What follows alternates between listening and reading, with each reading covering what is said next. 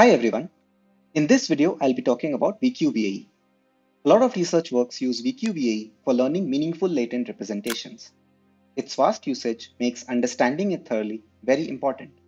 And in this video, I'll be doing exactly that. I'll talk about why it's needed, intuition and theory behind it, and then implement and train it. We'll also go over how to generate data after we have trained a VQVAE model. So let's jump right into it.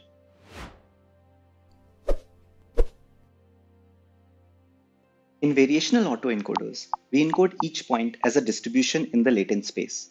This, together with the constraint of KL divergence with an assumed prior of standard Gaussian, ensure that these distributions don't move away from each other and are wide enough. In case you need a VAE refresher, I encourage you to check out my video on VAE to understand these points in more detail. As a result of these constraints, we were able to ensure that we could easily sample points from our continuous latent space and generate different variations of data, the keyword being continuous.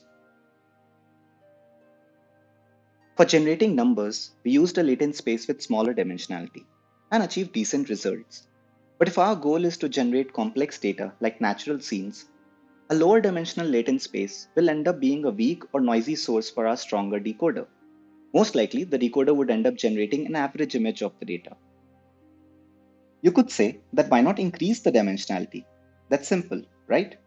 But then the total number of points in the continuous latent space would be a very high value, and our model might find it difficult to learn from. Imagine trying to ensure that all points sampled from a 256 dimensional latent space generate a valid output. But continuous latent points aren't that bad. I mean, they do allow us to interpolate between different data points in a very smooth manner. The flip side of the argument here would be that real world data is actually not really continuous we have sets of objects, each set belonging to a different class. Take the case of a cat and a person class. It might not make much sense to interpolate between them because points between those classes in the latent space would be invalid images in the real world.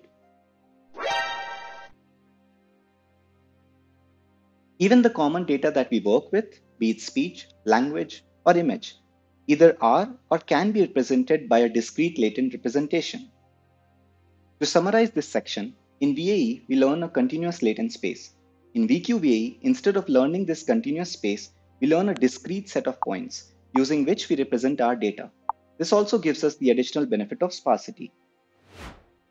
Let's now look at the different components of VQVAE, which more or less is pretty similar to the other variants of autoencoders.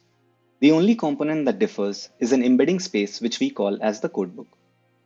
This embedding space consists of k embedding vectors which are the d-dimensional vectors using which we'll represent our data in the latent space. The second component is the encoder. And since we'll be working with images for now, it'll consist of blocks of convolutional layers. It'll take in an input image and generate a feature map. Now let's assume for the time being that our feature map is a grid consisting of d-dimensional vectors, with d being the latent dimension, which is also the dimension of our codebook. In case the dimensionality of encoder output is different than d, we add in a 1 cross 1 convolution layer to ensure that our encoder output shares the same dimensionality as our codebook. Now we need to convert this encoder output into our latent representation using the codebook vectors. To do this, for each d-dimensional vector in the encoded output, we find its nearest codebook member and replace it with that codebook vector. So let's assume we compute the distances between all pairs of encoder output vectors and the codebook vectors and find that the nearest member of F1 is E5 and that of F12 is E2. Then our quantized encoded output will be this. On the decoder side, we don't use the encoder output at all, but instead pass to the decoder the quantized encoder output. This goes through the decoder, which in our implementation will be stack of transposed convolutional blocks. It then generates the output and we backprop using the reconstruction loss, which will be MSE. Once you train this network with the reconstruction loss, unfortunately the model will not learn much. In fact, when you inspect the gradients of any layer before the decoder, they would be zero. The backprop happens perfectly from the loss through to the decoder, but at the point where we find the nearest embedding vector, the gradient becomes zero. Let's quickly understand why that's the case. To take an example, Let's pass a two element vector through an argmin node. Now this function will return 0 when x1 is less than x2 and 1 when x2 is less than x1. If we assume x1 less than x2, then when we change x1 by a very small value delta, what would really be the change in the output of the function? Nothing, right? It was earlier also 0, and since x1 and x2 are far apart and the change is so small, x1 would still be the smaller value. So if changing x1 and x2 by a small value does not change the argmin output, obviously the gradient will be 0. In fact, the gradient will be 0 at all points apart from when x1 equals x2, where it would be undefined. Here's one of the ways to tackle this, which the authors also use. I'll show it using how it's actually implemented, because that's how I found it easier to understand. Let's refer to our encoder feature map as A and the quantization output as B. What we are doing is passing A through a node which uses a non-differentiable function to compute the value of B. What if we rewrite the computation of B as this? Detach just ensures that the variable is separate from the computational graph and no gradient is passed along that node during backprop. Now if we represent these operations via a similar graph, we'll see that nothing changes in the forward pass. The a and the minus a paths cancel out and we still get b equals f of a. But because detach changes how backprop happens, for backprop the computation is b equals a, since everything within the detach vanishes. And what essentially happens during backprop is that the gradients are passed from b through a, as if there was an identity operation between them. This is called straight through estimation, where we simply pass the gradients from decoder to the encoder. The authors mention the intuition behind the usefulness of this unaltered gradient passing. They say that since the encoder outputs and the decoder inputs are in the same space, the gradients of the latter contain useful information regarding how the encoder should change its output to lower the reconstruction loss. Although we have overcome the issue of gradients being zero, but now there are no gradients being passed to our embedding vectors. This is because the backprop for the reconstruction loss never goes to the embedding vectors to update them. We need to find some other mechanism to update the embedding vectors. Now, given our codebook vectors are like representatives of the latent dimensional space, we can look at them as being centroids and regard the whole quantization operation as clustering the encoder outputs into k clusters. Once we do that, it's easy to see that we could update the embedding vector by bringing them closer to the encoded points assigned to them, just like we would update the mean of the cluster in clustering. This is the second loss term the authors use, which is also referred to as the codebook loss. SG here is stop gradient which is implemented in frameworks through detach and is meant to ensure that its operand is treated as a non-updated constant during backprop. A third loss called commitment loss is also used where we treat the embeddings as constant and bring the encoded points assigned to them closer. The authors mention that this loss is meant to ensure that the encoder commits to an embedding and prevents the encoder outputs from fluctuating between different code vectors and brings stability to the training. Both the commitment and the codebook loss can be seen as us trying to pull together the encoder outputs and the codebook representations. We add a scalar beta that represents our relative importance between the two. That is, whether we want to put more emphasis on codebook to adapt towards encoder or the encoder to adapt towards codebook. One could argue that since the probabilistic model is the same, that is, a latent variable z producing data x, there should be a KL term wherein we try to minimize the KL divergence between Q of z given x and P of z. Q of z given x would be the distribution of discrete embeddings that our model predicts, and P of z would be the prior for our discrete latents. However, in case of VQVAE, our prior PZ is uniform and hence 1 by k for all values. Our predicted distribution is a one-hot vector, which means the KL term will end up having only one term which will evaluate to log k. Since this is a constant, we ignore the KL term in the loss.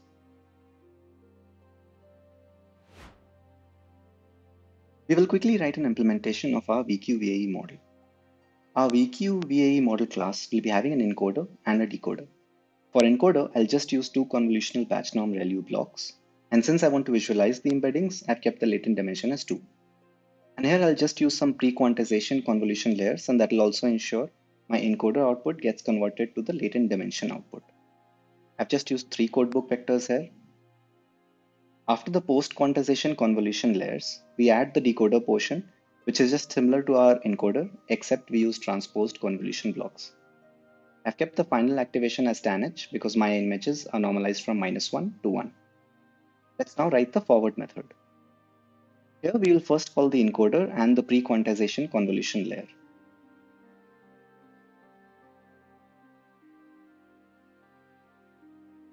Now we'll reshape it so that the latent dimension is the last dimension to allow us to compute pairwise distances.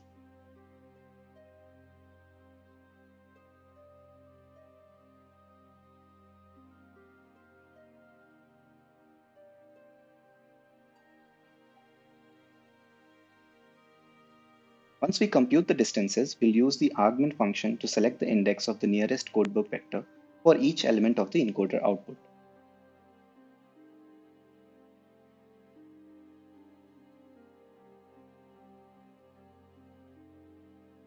Then we'll use the index select method to get the quantization output by selecting the embedding using the minimum index that we found.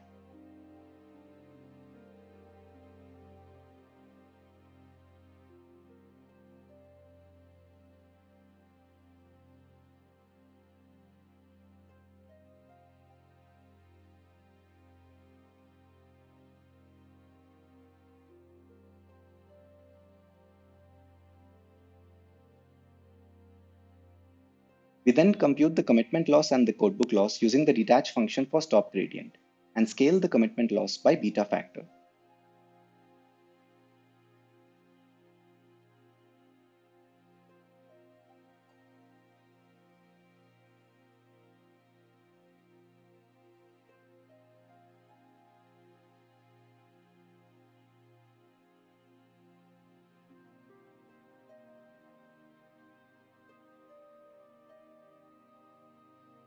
Finally, reshape the quantization output to the same shape as encoder output and feed it to the decoder, which then generates our output image.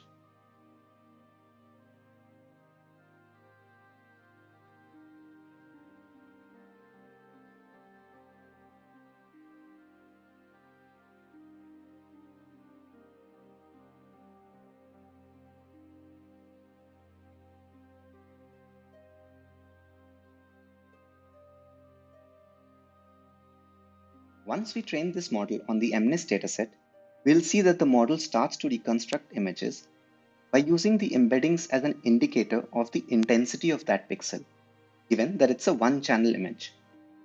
Here, we use three embeddings, and the model ended up assigning the encoder outputs in regions of black to one embedding, in regions of gray to another, and white to another. Even though we have the latent dimension as 2, given the simplicity of information required, our model mostly just uses 1, since most of the encoder outputs end up being closer to the x equals y line. By the end of training, it'll end up reconstructing the input images and bring the encoder outputs and the corresponding embeddings closer and closer to each other. In this case, the dataset had simple images, and a codebook of size 3 was enough. But obviously for more complex scenes, we would need larger number of codebook vectors. Even if all we did was just add color to the digits of MNIST, like if we simply take an image, create three copies, and scale each of them by random scalar values, then concatenating them as RGB channels of an image, we'll end up getting a colored number. Then we'll find that with smaller number of codebook vectors, the model gets the numbers reconstructed, but not the color. And only once we increase our codebook size, we are able to reconstruct the number as well as the color. In the colored case, the embeddings will obviously now start to contain color information. And you will observe that when the color change is small, like for the two images of 1 and the two images of 0 on the left, the encodings won't change much. But for the two images on the right, the color difference in the output is larger, but so is the difference in the embedding output. Now that we have trained a VQVAE model, how do we generate data? So let's assume our quantized encoding output is a 8 cross 8 grid of d-dimensional vectors. If we flatten this, we get a sequence of 64 d-dimensional latent embeddings. We'll be training a model using the sequence of these latent embeddings that we obtain from quantizing the encoding of our input data. And the goal of the model would be to learn the probability distribution of Zi given all the previous latent embeddings that it has seen. Kind of how you would learn a language model based on sentences. We have quite a few options available at hand for the kind of model and how to decide the context for each prediction. We could even pick an autoregressive transformer. But since we'll be working with some of them in the upcoming videos, I thought for this one, let's give our good old LSTM a try. As I mentioned, we'll convert the quantized encoder output to a sequence of d-dimensional vectors. For my implementation, I just decided to have a context size of 32. My input for the LSTM would be the previous 32 embeddings. I'll add an FC layer after the final hidden state with the number of codebook vectors k as my output dimension. Target would be the ground truth, 33rd embedding in the sequence, and the whole model would be trained using cross entropy loss. I also add in a start token and a pad token whenever my context does not have 32 embeddings. Once I train this LSTM, I generate a sequence of 64 embeddings, where for each generation, I take the past already generated embeddings, feed it to the LSTM model, and then sample from the distribution obtained after softmax on the final FC layer output. These embeddings are then reshaped to a grid and passed to the trained VQVAE decoder, which then generates an image. And after training the LSTM for about 10 epochs, I get these results. If you train for more, we should still see improvements. Like here, the color is not really as uniform and it kind of blends multiple colors in together. But I would say these are decent results. Alright, so that brings us to the end of this video. I covered everything about VQVAE, right from how it's different from VAE, its theory, implementation, and I hope you now have a better understanding of it. Thank you so much for watching the video. If you learned anything from it, do press the like button and subscribe to my channel. It's a growing channel and it'll be really great to have your support. And I'll be adding videos every week, so see you in the next video.